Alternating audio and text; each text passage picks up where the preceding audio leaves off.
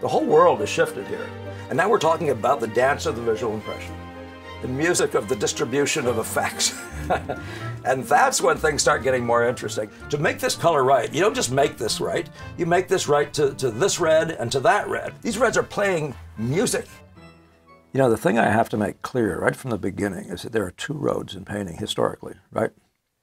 The old road was a story, was a, was a storytelling road. This is the world of illustration. You draw outlines around characters.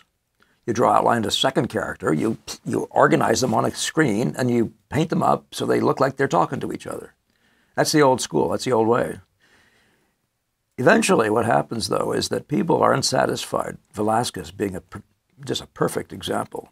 People, painters who've learned that way, are unsatisfied with the truth of the representation.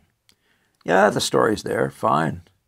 But anybody with an eye, and most painters do have their sense of beauty does come from using their eyes, looking at things in nature. Anybody with that kind of an eye begins to wonder, is this really giving me as much truth as I could get out of what I see before me? Well, that sets us up with the second road. The second road is the, what's now called the Impressionist road. And that whole world then sets up a whole new way of working. You're now working with just the stuff of the eyes, what the right color is in the right place, what the right values are in relation to each other. And it's just simply the dance and the play of color and light in relation to each other on a screen. Just this to this and that to that. It's a totally new world. You're not learning anatomy anymore. You're not drawing objects anymore. You get to the object. You actually get to a very, very good likeness. Velasquez actually brings this impressionism in as a as a as a as a, a portrait painter. He sits the guy down. His job is to do a likeness, and he finds there are better ways. You know, the better way is what we now today call Impressionism. So he's referred to, of course, as the um, first Impressionist. So again, there's the portrait painter. A couple shots here just of, of Velasquez painting portraits. When you see these two paintings coming out of that era, you sense just the truth of those likenesses. I remember the day as a young student in an Impressionist classroom in New York. It was Robert Brackman's class. I remember the day he would be teaching us the Impressionist way of thinking, this note to that note, spots of color.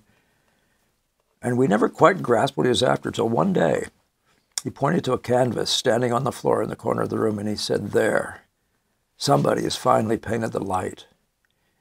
And I looked over there and sure enough, it was glowing forth, literally coming forth off the canvas.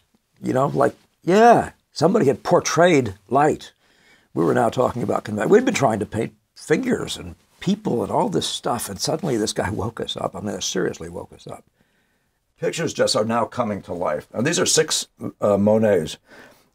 The intrigue is endless, but it's strictly visual. What you're trying to learn to see is color relations, chroma relations, size relations, in the same exact way as if you'd say the notes of the ta-ta-ta-ta of, of, of, of Beethoven. These notes at the right time in relation to each other on a, on a line, right? That's true of every color note in a picture. That's true of every size it's true of every effect. It's true of every angle. I mean, there is no end to the music that's latent in a, in a visual world once you accept the idea that that's what seeing is. If you want to really master the visual world, actually render with authority a nose, light, atmosphere, or anything else the eye can see, get your head around what I'm talking about. In these videos, I think you'll find what you haven't been able to find anywhere else. Thanks. See you there.